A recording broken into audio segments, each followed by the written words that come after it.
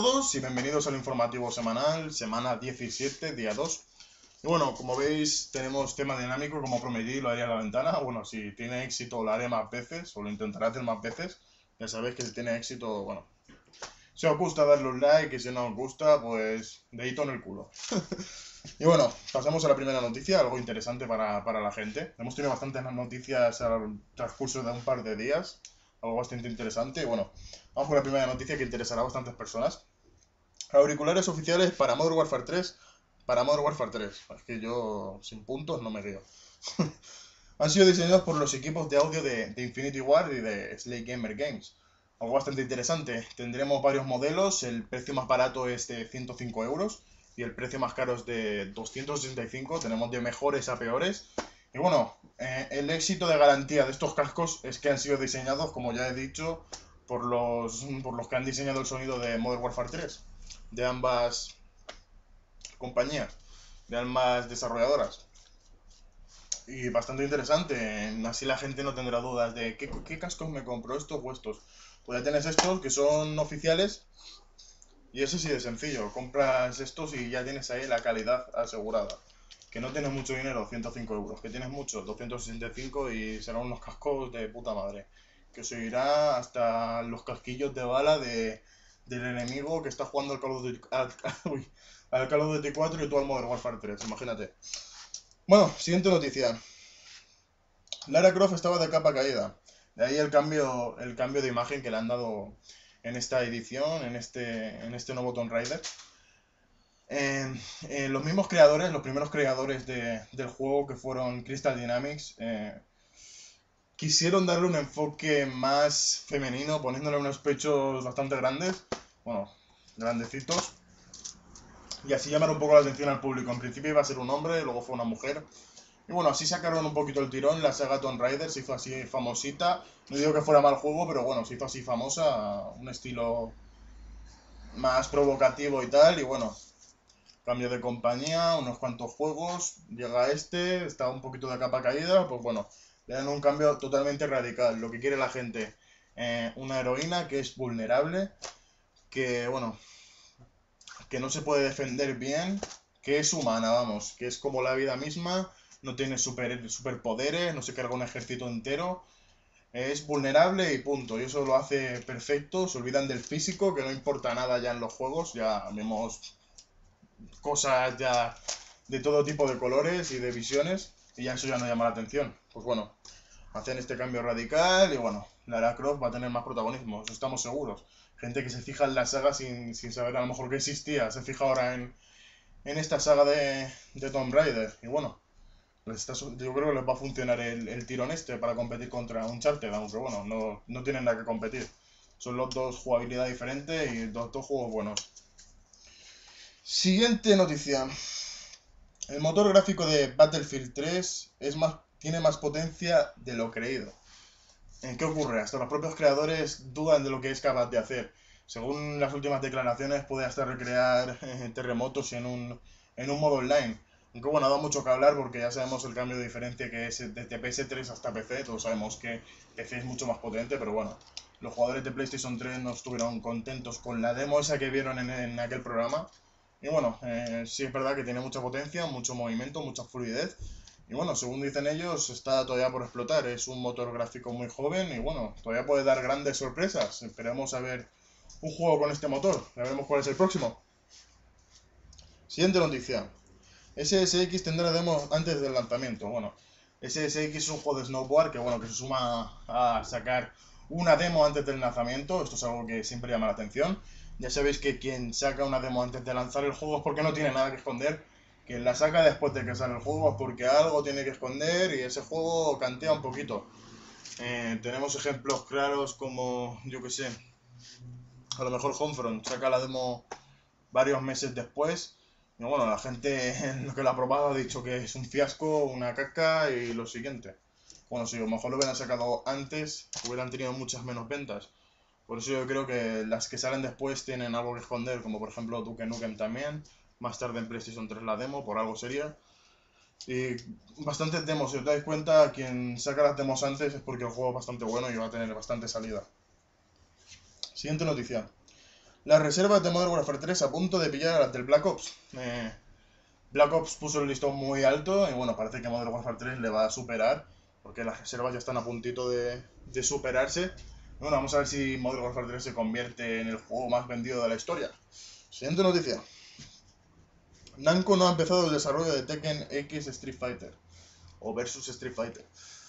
A ver, ya sabéis todos que va a salir primero Street Fighter versus Tekken y luego un Tekken versus Street Fighter, pues bueno, todavía no se ha empezado el desarrollo ni nada, las ideas están en la cabeza de, del desarrollador, pero todavía no hay nada hecho.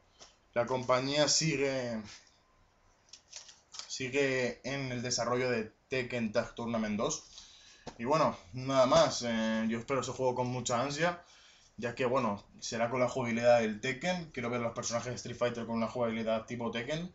Y también tengo ganas de ver el Street Fighter eh, con los jugadores del Tekken tipo jugabilidad de Street Fighter. Vamos, un lío que te cagas, pero bueno, va a ser divertido verlo.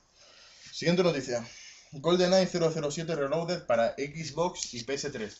Después de casi un año de que saliera en Wii, eh, ahora va a salir en PlayStation 3 y Xbox 360 con los gráficos remodelados. Y bueno, una gran, una gran noticia ya que la jugabilidad va a ser parecida a la del Call of Duty. Así que atentos a este juego.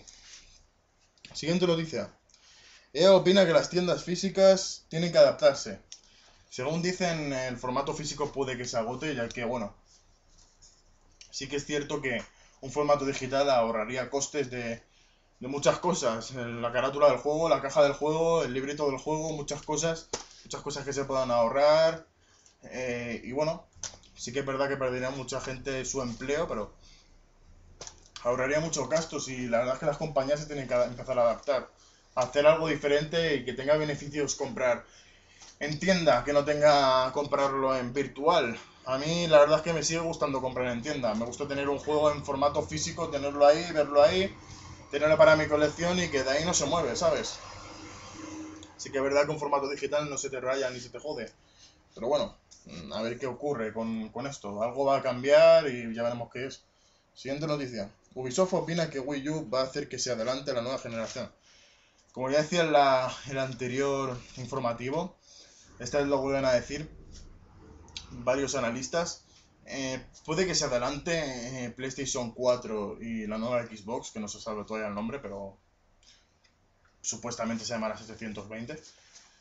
Y bueno, puede que se adelante porque las compañías tengan miedo del tirón que pueda tener Wii U. Yo creo que no las van a sacar antes por esto, porque Wii U no creo que sea muy potente gráficamente ni tenga tantas novedades como pueda tener a lo mejor una nueva PlayStation una nueva Xbox. Yo en mi opinión creo que Wii U se ha adelantado demasiado y tendría que haber esperado un poco más para tener más éxito y salir contra, contra las tres competidoras a la vez. Y bueno, pasamos a la siguiente noticia. La película de Uncharted cambia de director a Neil Burger. No sé qué, quién es ese director, pero bueno. Me parece bien que haya cambiado de director la película de Uncharted porque el otro director ya estaba metiendo tonterías como metiéndole familia a Nathan Drake, eh, tocándolo mucho, haciendo una, una película muy, muy, muy mala. Ya el guion iba a ser penoso. Eh, que tuviera familia ya era una tontería. Parecía que, que iban a hacer la, la película de la momia en versión moderna. Y bueno, pasamos a la siguiente noticia. Esta, la verdad es que era bastante interesante. Ya veremos a ver la película qué tal. Habrá Gears of War 4 si el 3 vende. Así lo deja ver Cliff B.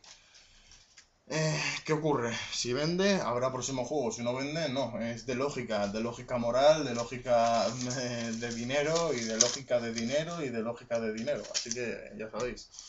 Eh, las sagas nunca morirán. Si se venden, nunca morirán. Habrá Uncharted 20, habrá Gears of War 80 y habrá Halo 200. Esto la verdad es que no es nada bueno, ya que se necesitan juegos buenos, juegos nuevos, novedades, cosas nuevas, que renazcan sagas excelentes como las que hemos tenido a principios de PlayStation y a principios de Xbox, que las han habido ya montones, y que no tiren tanto de las mismas sagas. Yo no lo veo mal esta noticia, pero sí que veo, por ejemplo, mal que me saquen ahora, yo que sé, un juego que tenga muchos capítulos, que me saquen otro, que no tenga nada que ver. Si cierras la saga, la cierras, no vuelvas a poner otro juego porque vas a destrozarlo. Es como acabar una serie bien y sacar otra temporada que este no ha muerto, que este está vivo, no, una mierda. Y bueno, más juegos nuevos y menos mm, repeticiones. Ya digo, no veo mal que saquen Gears of War 4. Es un juego muy bueno. Eh, el 3 va a ser muy bueno y bueno, no me extrañaría que sacaran el 4. Es de lógica, de lógica sencilla. Y no me extrañaría que sacaran un Charter 4 y no me extrañaría que sacaran muchas cosas más. Y bueno, es algo lógico. Me he liado mucho en esta noticia, no pasa nada. Siguiente noticia y la última. Un especialista de una revista de Xbox especula con que la próxima consola de, Microsoft tuviera gráficos como en la película de Avatar. Eh, ya habéis visto todos la película de Avatar. Este tío yo creo que alucina un puto huevo. yo creo que vamos a tener más en ver esos gráficos, no os emocionéis. Yo no creo que, eso sea la próxima generación. Sería la octava generación, no creo que eso sea posible eh, por ahora, por la tecnología que hay. Supongo que un ordenador muy, muy, muy, muy potente sí que a lo mejor lo podría hacer. Pero bueno, crear gráficos jugables de este calibre me parece muy exagerado. No sé, no creo que lo veamos, no sé, espero equivocarme, pero yo creo que no me voy a equivocar. Yo creo que no vamos a ver una mejora gráfica muy sustancial en las próximas consolas. Yo creo que a lo mejor van a ser novedades, cosas más... Cosas nuevas, no sé cómo decirlo, interfaces mejores, eh, tiendas virtuales mejores, cosas mejores. Sí que va a haber un cambio radical también de gráficos, pero no creo que se va a ir mucho, mucho, mucho, mucho más de, lo que ya es. Yo a lo mejor apostaría por un 25% más de lo que ya tenemos, no tanto. Eh, Avatar es un nivel muy alto. Bueno, chavales, espero que os haya gustado. Esto ha sido todo y hasta la próxima.